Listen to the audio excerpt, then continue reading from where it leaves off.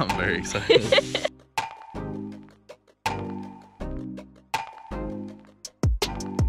Hey guys, so it has been about two months since we maintained the orchard out here. We have been focusing on our other house, trying to get it ready to go on the market.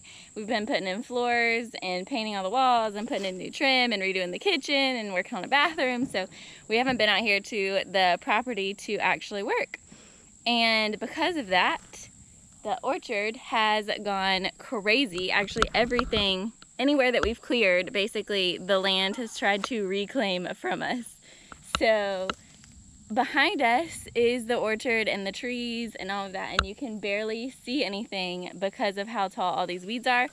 This is my strawberry bed. We have gotten strawberries out of it, but it is overcrowded and I have been pulling stuff out, out of it anytime we come out, but we haven't been out in a couple weeks and in just a couple weeks time this thing is freaking full of weeds. So today we are going to be looking at where we're moving our 10 by 10 sheds to. We have two that have to come from our current house to come out here.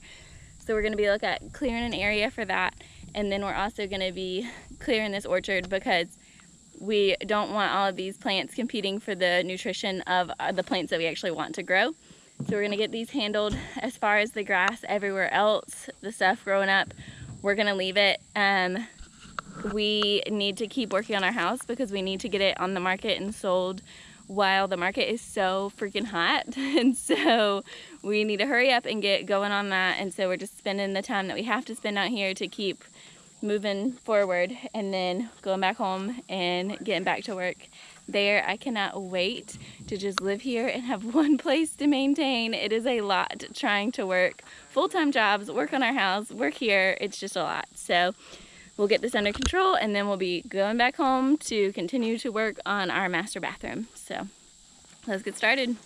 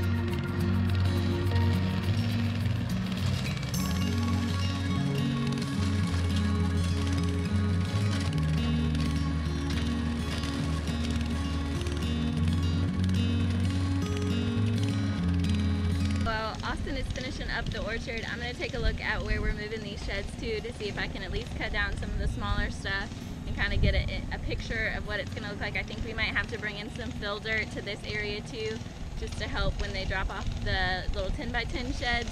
So I'm going to take a look at this and see what we can get done.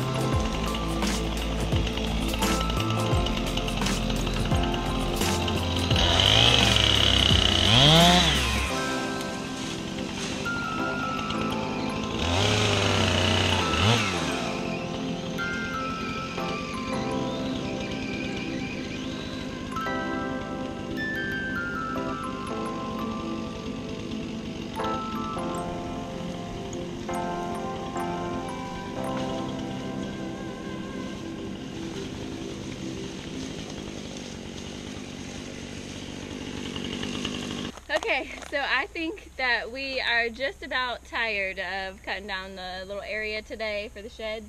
And We've- mowing and weeding and Yeah, and just being hot. So we have some other stuff we've got to work on at the house. So we're gonna wrap it up here for today, and probably come back either one evening this week or this next weekend and finish cutting down the rest of the area that we need to clear out. We have a uh, burn pile that we started right here yep. to the side, so we figured while that's burning, we can cut out the rest of it and burn it all with it. So We got to get two more sheds in here. Yeah. And at least 60 tons of dirt, yeah. soil, sand, whatever was cheapest. yeah so we're gonna look up um, what we need to do for that and the sheds are gonna gonna be, be placed around where the oak trees are so it'll be like really cabiny mountain feeling hopefully Mhm. so that's I it for wait. today we're It's gonna- exhausted It's all finally looking looking like a picture coming together yeah every time we work out here. But today was just maintenance. I mean, Yeah. our weeds are getting the size of fruit trees. it's getting crazy But we've been spending every weekend working at the house and not out here. So we can move out here. it's a process Yeah. Lengthy one. So hit that subscribe button if you like watching this video and you want to see more of us turning this land into a homestead and a shed into a house and we're thankful that you guys are joining us on this journey Yep. Thanks, guys. bye